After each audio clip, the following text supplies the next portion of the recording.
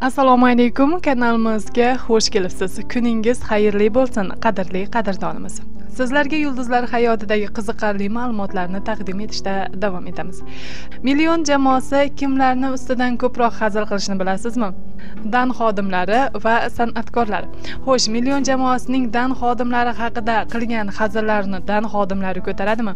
Bunga alisher botirov javob berdi. Bir yarim yil ichida dan xodimlarining qo'liga umuman tushmadim. Jamoada eng ko'p tushgani umidjon haydarov bo'ldi. Undan keyin mirkomil davronlar qo'lga tushishdi. Men ularning oldiga gerdayib kirib kelib o'ynagan men tushayotgan senlar derdim axiyri yaqinda meni ushlashdi lekin hammasi joyida. Ularning uchtadan ikkitasi albatta bizning hazillarimizni zo'r deydi. Ukajon muammo yo'q gap yo'q.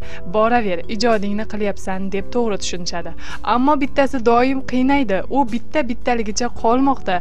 Ko'payib ketgani yo'q deydi alisher botirov million jamoasining a'zosi.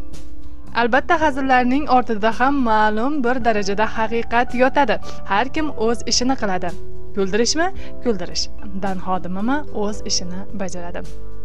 Kanalimizni kuzating va yulduzlar hayotidagi eng so'nggi yangiliklardan xabardor bo'ling. E'tiboringiz uchun rahmat.